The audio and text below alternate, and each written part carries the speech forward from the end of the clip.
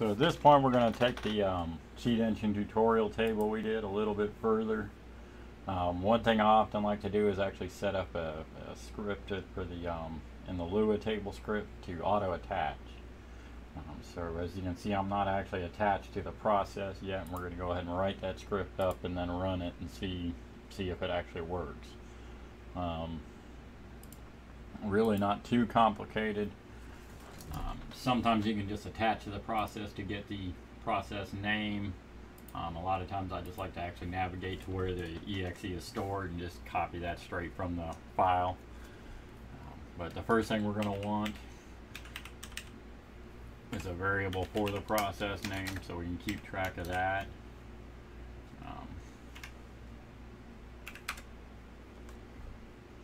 So once we store that, um, one thing I do make use of in this script and even some of my other scripts is going to be the main form. Um, it's a constant added, I think it's 6.7.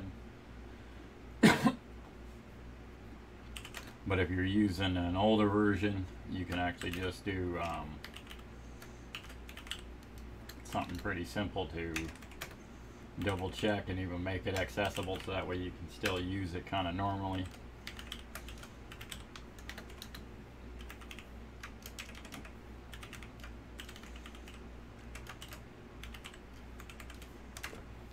Basically this will just set it up so that way if it's you know old enough and it's got um, a new enough version and it does have that accessible it won't be nil and it won't do anything. But if it is nil then we'll go ahead and set it to get main form and then we'll just have a, a global variable that we've created main form to be able to access that.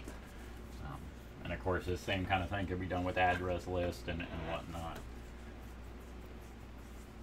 so after we do that, some of the things we're going to want to do is go ahead and create the timer and all that. Again, we can go ahead and make a comment here.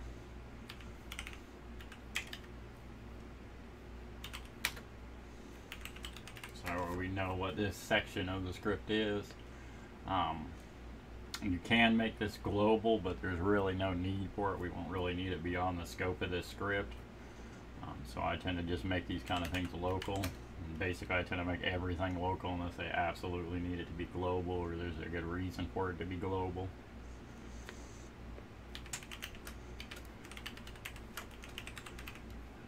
One thing to know with Lua is uh, like this line here automatically you know creates a variable and assigns it the value of nil. So it's exactly the same as this. Um, the only thing is I actually like to again I like to be explicit in a lot of cases. And so with this, I, I like to be explicit that this way I know, it, you know, if I look at the script two years later, I'll know that I intentionally set it to nil and it wasn't I just forgot to give it a default or something like that. Um, not really necessary, but it's, you know, up to you whether you do that. Um, we'll want to set an interval value and basically this will be um, for the timer on Cheat Engine I think even Lua maybe. Um, it's every thousandth of a second. So if we give it an interval of 100, that'll make it every tenth of a second. We really don't need it to run any more than that. Um, to me, even every tenth of a second, it really, you wouldn't even notice a difference other than it'll cause more resources, resources to be used if we went less than that. Um, another thing I like to do is actually give it a max of, you know, the number of ticks so this way and we'll set it up to where it'll only run about 5,000 or 500 seconds. Um, well, it seems like it should be plenty of time to be able to open in whatever order you want. It's still attached to the process and do its thing. Um, but this way, in case we launch a table and then walk away to go grab dinner, it's not running the whole time and we forget about it. It will eventually max out and stop. Um, that one, obviously, we just want to give it, since it's going to be how we're going to count the number of ticks, we just go ahead and give it a default to zero. And then for a max, um, this we're going to go and set up basically if it's zero or less than zero, it'll be seen as a, um, as we're not wanting to give it a max. So this way, if we ever need to change that behavior for some reason, we can. But let's go and give it a value of 5,000. And like I said, that'll be 500 since it's tenth of a second. That'll be 500 seconds, more or less. That's how long this will run.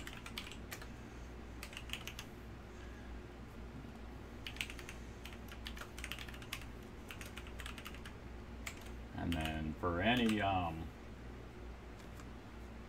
events, I usually like to go with underscore and then lowercase the event what I'm actually having this function fire for. So this way it makes it easier to keep track of. Um, naming conventions are up to you. It's just whatever works for you and makes sense is really all that matters. Um, so here in this timer tick function, basically every tick of the timer, this function is going to be called. Um, and not technically timers on computers are, you know, based on a, a vibrating quartz crystal, more or less. Um, so there's a lot more ticks than what we'll actually keep track of. But uh, as far as the, the programming language here is concerned, it's going to be every tenth of a second, and thus every tenth of a second is going to be one tick.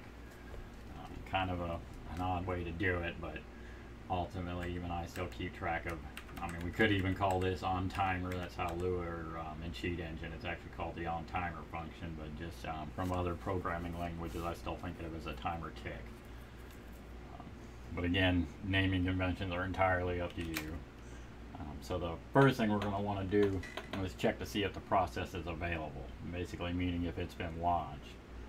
Um, about the easiest way is just to use a function uh, get process ID from process name and then we'll pass that process name constant or that process name global that we created. Um,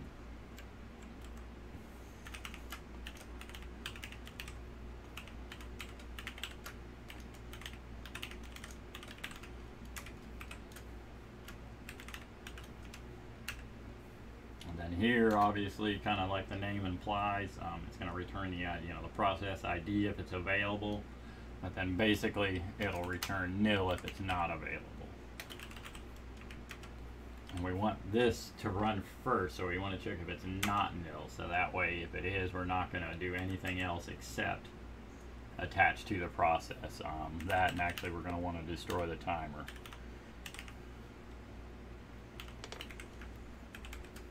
And that way the timer just kind of stops here.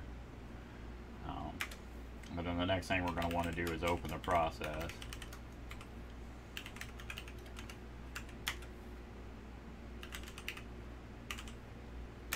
So here's where we're going to want to check on those uh, the max ticks and you know see if it's you know greater than zero and if it is then we're going to want to continue with our check thus with just an and and then check to see if the um, number of ticks is greater than or equal to our max. If it is, then we'll just want to destroy the timer. Um, so like I said, we want to check if that's greater than zero, and if it is, and the way um, these kind of checks work, comparisons more or less, is it'll start here and it'll check this. If this fails, then it stops and it will continue on to the next check. That's where we could even have some cases where we check for nil and then check for a specific ID or something like that. In this case, if it's less than zero, it won't do this next part of the AND. Now, if it was an OR, then it would, but since we're using AND, it won't. Um, so here we just want to check if our ticks are greater than or equal to our max. And then if it is, we just want to destroy the timer. Um, here's where we could go and do else. Um, I actually tend to prefer to do end and then just have this since this way it, will be real easy to see that if none of this works it'll just do this next thing.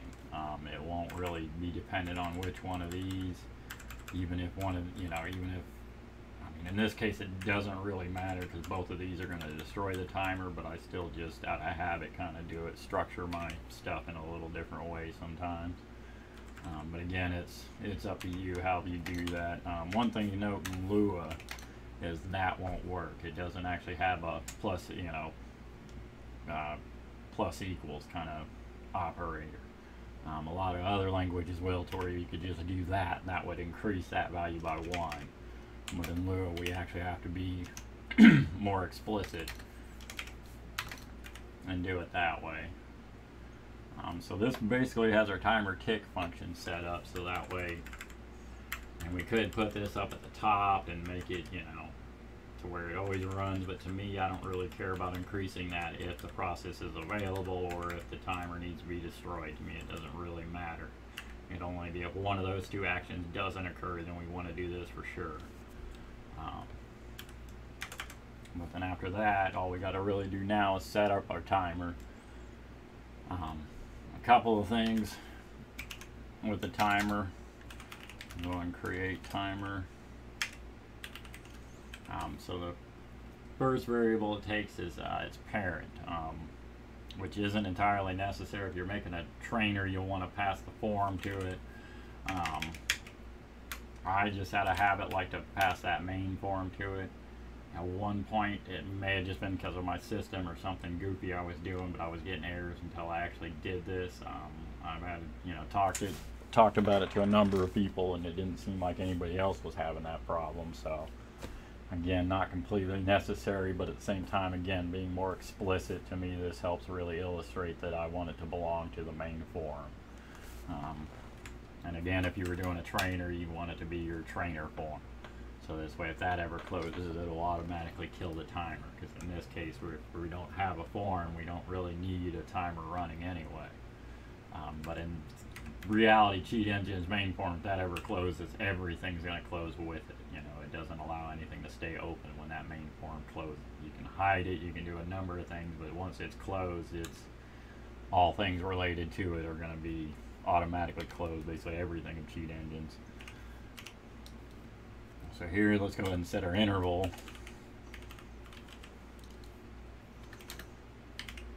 And we just want to use that main variable. And again, I just like doing this so this way I can kind of see these are all my variables. We can even be a little more explicit and change the location of some of these. Oh, scrolled up. Change the location of some of these so that way we can kind of know these are our actual variables for this function and then or for this area code and then this is stuff we don't really want to mess with. These need to be the same defaults and it's only these that we ever want to change settings for. Um, but that's kind of up to you how to structure your code however you see fit. So the tick function I talked about is actually on timer in um, Cheat Engine Lua and basically there we just want to make sure we don't call the function, we just want to actually pass it the function itself and not, you know, because in this case if we actually called it we'd be passing, you know, nil to it since this doesn't return anything. That's pretty much got our timer set up. Um, not a whole lot to it as you can see. We can go ahead and grab this code, throw it in our cheat table Lua script. Let's stick it up top here.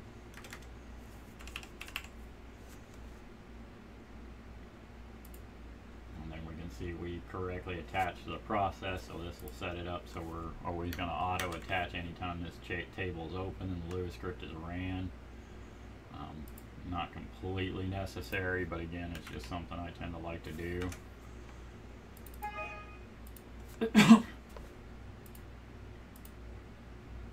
so that's it for that. Um, on the next thing, I'm fixing to shoot another video here. We're going to go ahead and set up, I think it was a step six, step eight. Yeah, step six and step eight. We're going to go ahead and actually set up a timer for step six and then a thread for step eight to kind of show, to make this table to where it's completely um, autonomous to some extent. Once everything's enabled, we can just step through everything and it'll automatically deal with it. So that'll be in the next video.